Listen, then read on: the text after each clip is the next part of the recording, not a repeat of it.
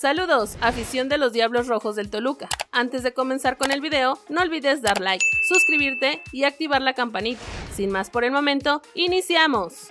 Toluca FC contra Pumas, horario, alineaciones probables y donde ver la jornada 14. Los Diablos Rojos del Toluca recibirán en el Estadio Nemesio 10 a los Pumas de la UNAM en actividad de la jornada 14 de la Apertura 2022 de la Liga MX, encuentro que arrancará en punto de las 9 y 5 del centro encuentro que podrá seguir a través de las señales de Tutni Canal 5. Se viene el partido de la jornada 14 de la Apertura 2022 en el Estadio Nemesio 10, donde Diablos Rojos del Toluca FC le hará los honores a los Pumas UNAM, equipo que tardó la mitad del torneo de Liga MX, incluyendo el duelo internacional ante el Barcelona para reconocer el camino del triunfo. Ignacio Ambriz tenía a los choriceros en la punta del campeonato hasta la jornada 10, cuando los malos resultados comenzaron a llegar para caer al sexto peldaño con 22 puntos, producto de dos empates y tres derrotas en sus últimos cinco compromisos, el último frente a Tigres UANL. Por otro lado, Andrés Lilini se quitó un peso de encima después de vencer a los Gallos de Querétaro, último lugar general en la fecha doble, para tomar un poco de respiro antes de saltar a la bombonera